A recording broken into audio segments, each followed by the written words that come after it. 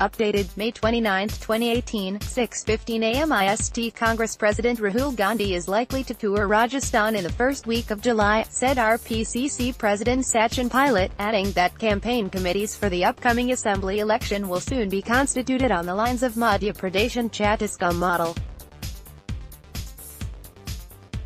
Pilot reviewed Mera Booth Mera Gaurav MBMG, a mass contact program, along with senior leaders at PCC headquarters on Monday.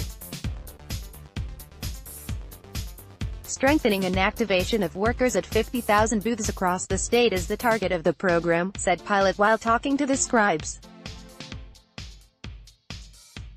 The party currently is holding MBMG in 200 assembly constituencies across the state. Moreover, the state Congress had delivered a strong message to the leaders who are damaging unity of the party by indulging into indiscipline publicly. We will not tolerate indiscipline in the party. In Shahpura incident, the party has suspended a senior leader for six years while two leaders were slapped with show cause notices, said Pilot.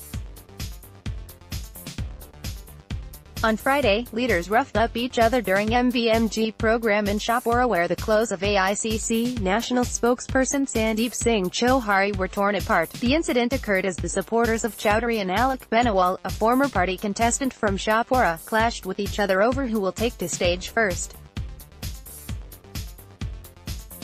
Supporters of Beniwal manhandled Chowdhury and torn off his clothes. MBMG reviewed Sachin Pilot reviewed MBMG program along with senior leaders at PCC headquarters on Monday.